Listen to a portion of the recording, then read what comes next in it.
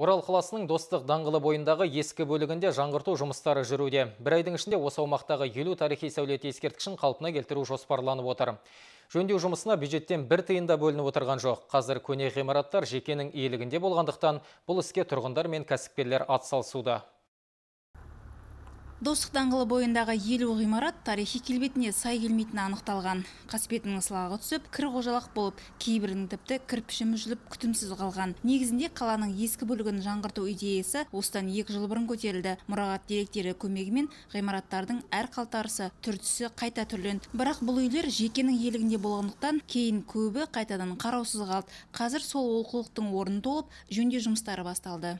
Тұрғындардың арасынан және де кәсіпкерлерден өздерінен қолдау табылып барлық қаражат ол өздерінің кәсіпкерлердің қаражатына жасалып жатыр және тұрғындардың тарапынан түсініктемеге келіп барлығымыз осы жұмысты атқарып жатырмыз. Ешқандай бюджеттен қаражат бөлініп жатқан жоқ. Бірлік ауызбіршілікпен жасалып жатқан жұмыс тарихы мол.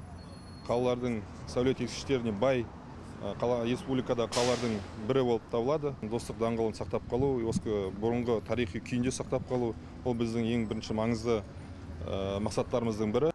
Бір кәсіпкерден екіншісіне өтіп ақыры құттармай азып тозып күтімсіз қалған мына ғимаратта қайта жаңғыртылуда. 19 ғасырдың сәулет ескерткішіне күрделі жөндеу жасалып жатыр. Бұзылып тасталған екінші қабаты да қалпына келтірілуде. Оның іргесіндегі аяқ киім жөндеу шеберханасы басқа жерге көшіріледі. Мұнымен қоса көшелерге жарық беру жұмысы да қатар жүрмек. Қала бойынша 844 жаңа тірек бағана орнатылады. Жарықтандыру бойынша осы достық даңғылы сарайшық көшесі ихсанов көшелерімен және аэропорттан қалаға дейінгі 16 километр жол барлығы жарықтандыру бойынша светодиодтық шамдарға ауыстыру бойынша жұмыстар жүргізіледі. Бетондық шам шырақтары светодиодтық шамдарға ауысатын болады.